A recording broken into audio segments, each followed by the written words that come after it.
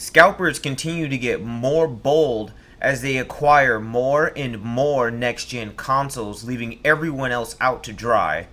Tons of news on Mass Effect Legendary Edition and everything we can expect from the remaster here. And to top it all off, Redditors are using their GameStop gains for good. For more info on everything I just mentioned, pop a squat on the couch. My name is Ray, and I'm bringing you the news today.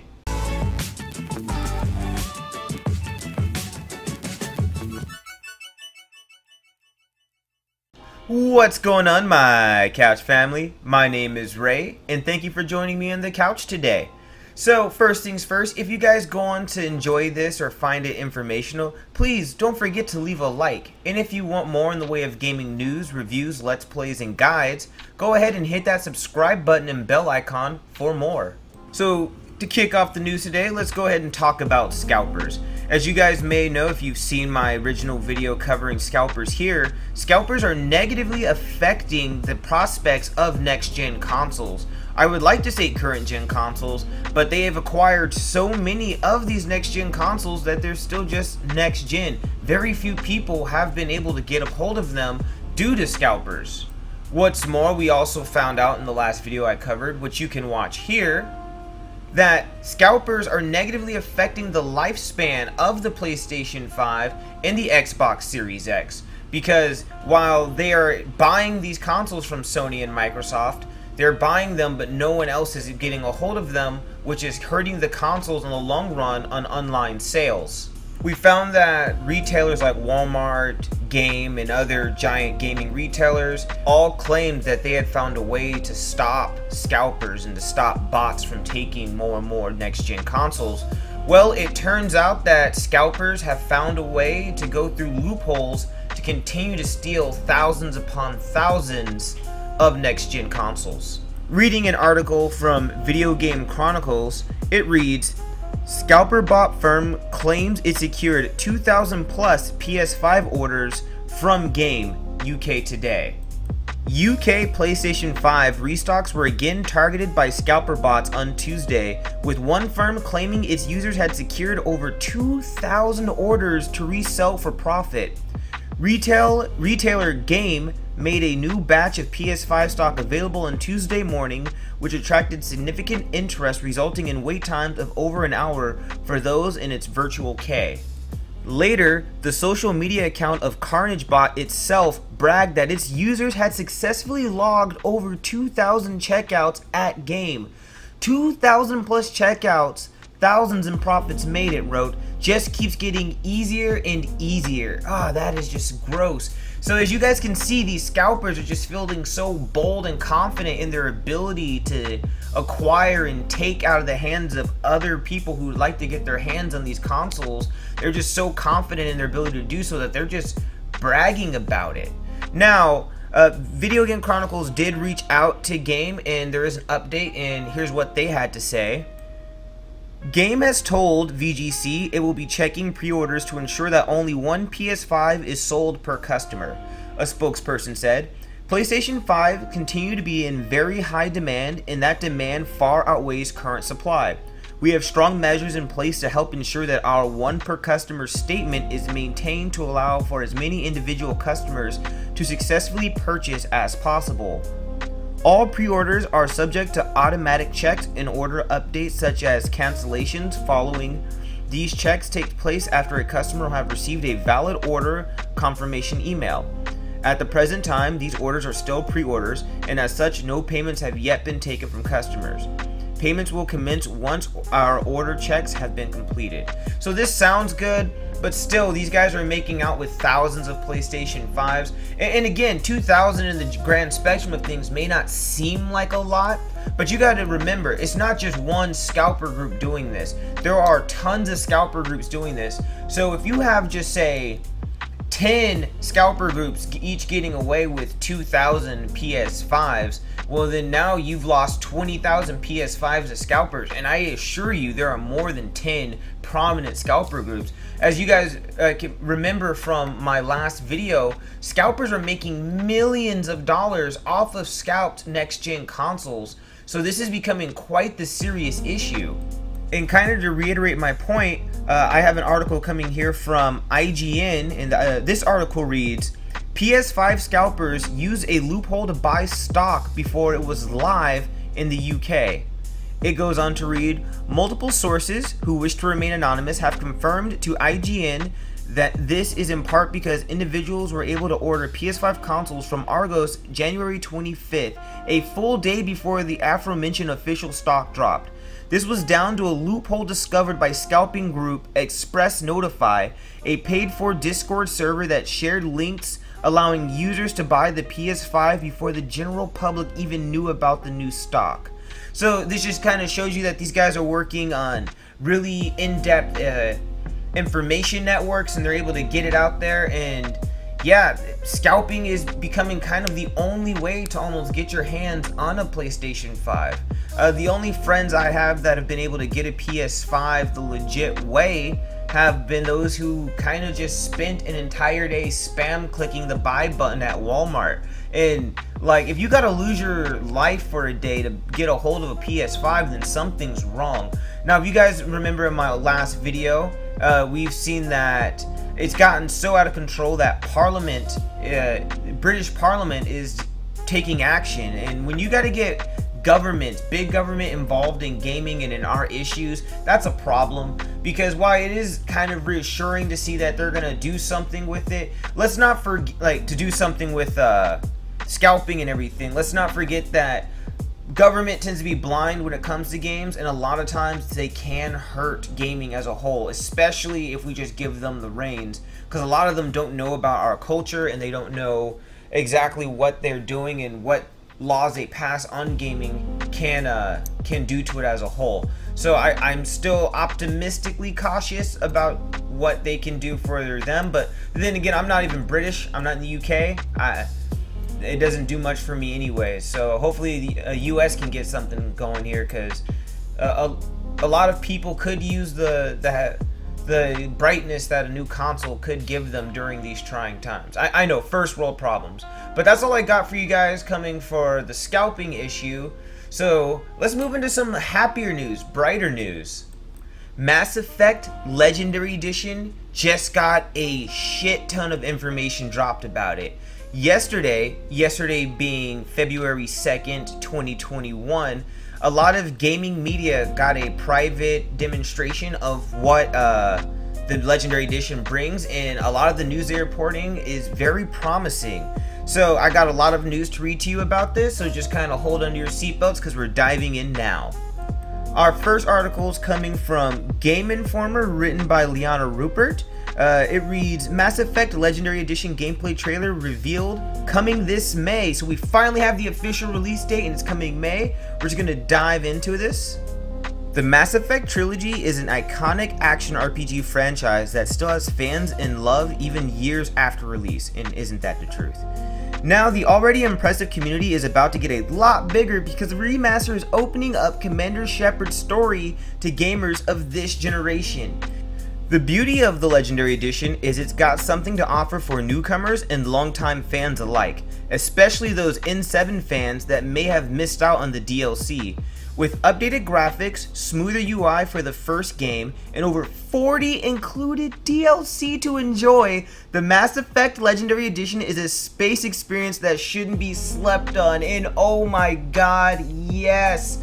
Oh, this is good news. So, we're getting Mass Effect 1, 2, and 3, and from the sounds of everything I've read from all these news outlets or gaming news outlets, uh, it seems that Mass Effect 1 is the one that's getting a lot of uh, uplift, and of course it is. It's the one that needed it the most. It's a 13 year old game, and I'm just excited to see that some of those speculations and rumors are proving true. It seems that where you guys are going to see as we get into reading more of these articles, but it seems that Mass Effect 1 is in fact getting a gameplay update to match that of uh, Mass Effect 2 and 3. So it's going to be a little less clunky and it's going to flow a lot better. Um, other things I do know is Mass Effect uh, 1, 2, and 3 in this remaster is that they're going to be using the Unreal 3 engine, not the Unreal 4. So it's still not going to be like next gen graphics, but it from what I'm seeing of some of these trailers and uh, releases and uh, the footage that's getting out of the remaster,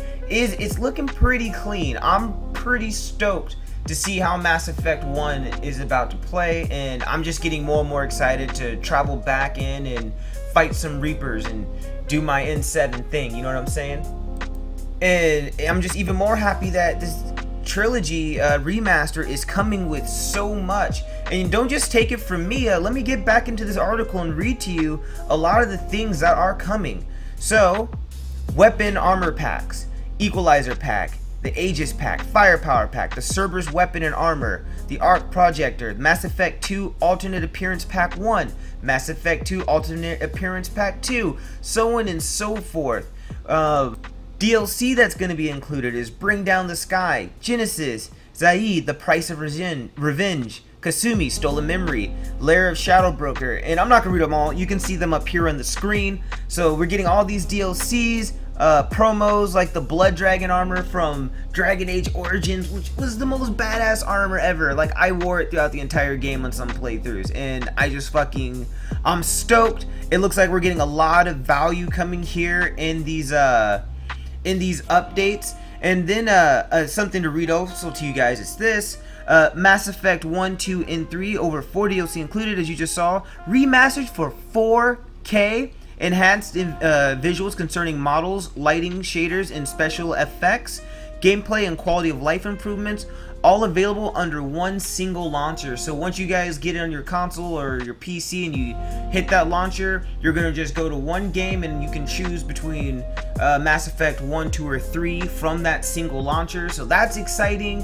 And of course, all your save data will be able to connect to it, which, you know, uh, it wouldn't be Mass Effect without having all the different games uh, save uh, saves connecting to one another to continue that whole con, con uh, continuous story. Jeez, I can't talk. Thanks for bearing with me, guys.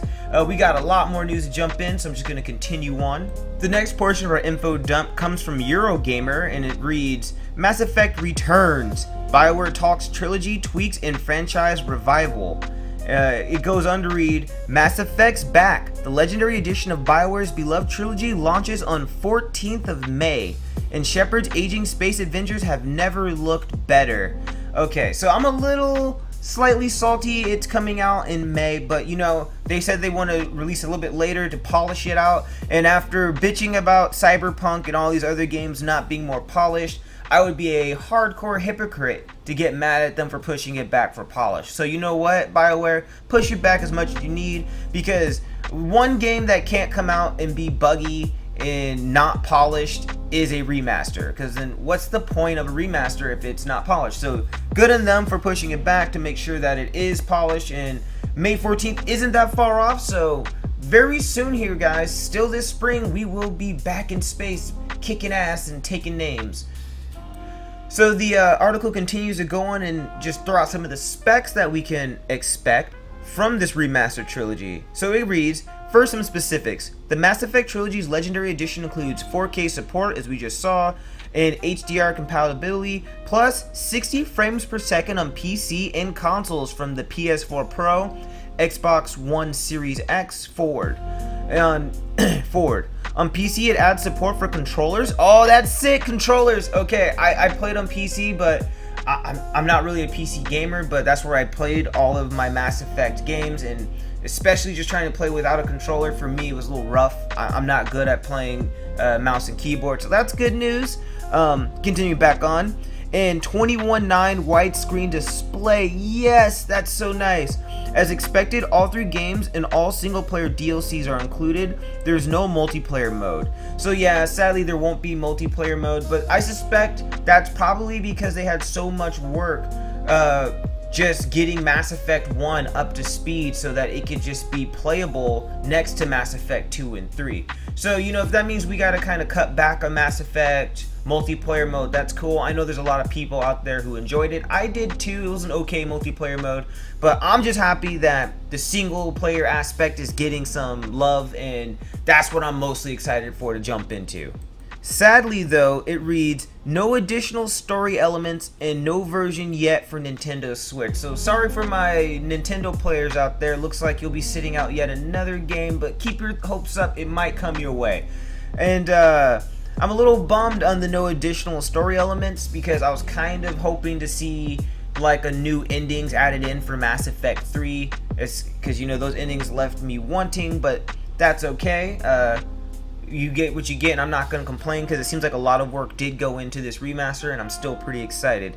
The article continues on to read Mass Effect 1 by far the most dated looking of the trilogy has undergone a particularly extensive rework with dramatic improvements to some of its environments. The results on planets such as Eden Prime, uh, Eos, and Feros look on first impression far closer to full remake Okay, uh, okay, that's cool. I'm super happy to see that Mass Effect 1 is getting the love, and as I just said, it, it needed it. It's 13-year-old game, and I'm just super happy to see that it's getting the love it need it's needed. And you know, I think the story in Mass Effect 1 is probably the best of the three. And now that the gameplay has been updated, and if it if it holds true and it plays well, I suspect a lot of people are going to change their favorite from Mass Effect 2 to Mass Effect 1. We'll see after this drops, but that's just my hunch.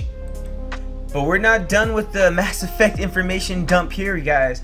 I'm pulling a lot of information from a lot of different uh, gaming outlets. So, hey man, if you appreciate me pulling this together, please go ahead and just hit that like button. And if you haven't, go ahead and hit that subscribe button. Join us in the couch. But getting back into it, our next article comes from PC Gamer and it reads Mass Effect Legendary Edition release date, all the new details, and everything we know. So I'm gonna just kind of skip ahead of all the stuff that's just reiterating what we've read in the other articles and getting into what I find to be the most interesting in this article, and that's right here.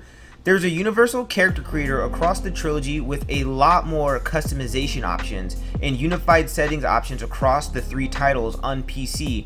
For some reason, each entry in the original trilogy had different settings. Probably the greatest relief in Bioware's demo was, was when a lift ride was shown on the PC version. This was in the Citadel, and Mass Effect Legendary Edition took 14 seconds to load the area where the original game took 52 seconds.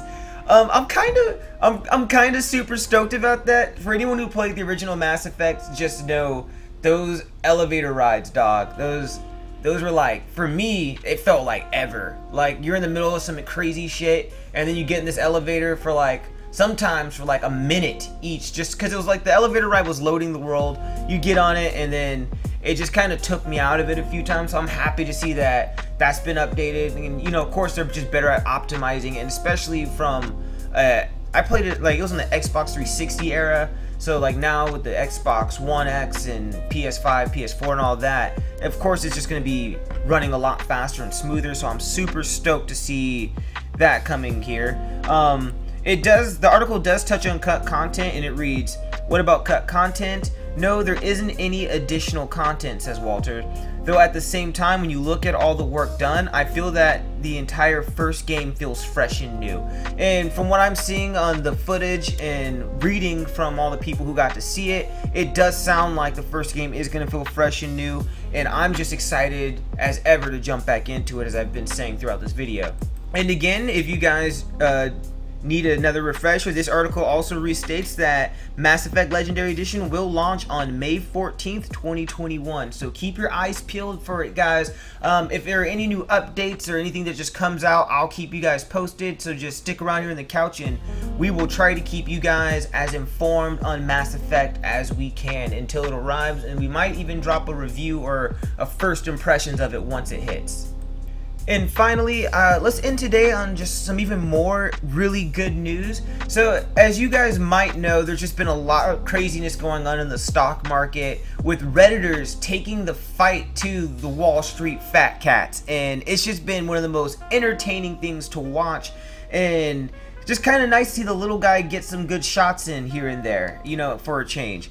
And these redditors who are winning big off their GameStop and AMC uh, stocks and everything, they're using their newfound wealth for good. Uh, this article comes from NBC and it reads, North Texas investor uses GameStop gains to help sick children. Uh, amid the Wall Street drama surrounding GameStop and Robinhood, Some investors taking part in the GameStop short sale are using their proceeds to do good deeds for others. One investor, who wished to remain anonymous, delivered 10 Nintendo Switches purchased from GameStop locations around the Dallas Fort Worth area to Medical City Children's Hospital Thursday. And that's just like a nice, touching, heartwarming story, you know, to see that people who are gaining newfound wealth from something as crazy as this short squeeze on GameStop and AMC, they're using it not only for selfish reasons, they're also going out there and they're they're helping others. So I, I know there's a, a terrible narrative that these guys are like crazy, antisocial, just people wanting to watch the stock market burn. Of course, that might be some of them, but a lot of them are doing good with their newfound wealth. So I just kind of wanted to highlight that on the closing of this video so, again, if you guys found this video entertaining or informational, please go ahead and hit that like button. If you want to see more in the way of gaming news, reviews, let's plays, and guides, go ahead and join us in the couch. Hit that subscribe button and bell icon. But hey, until next time, my name's Ray, and you've all been great. I'm out.